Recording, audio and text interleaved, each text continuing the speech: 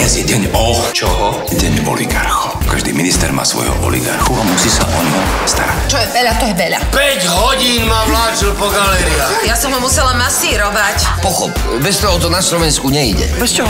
Bez peňazí. Dlhý. Chodí si na golf. Široký, poľovačky. A bystro zraky, ne?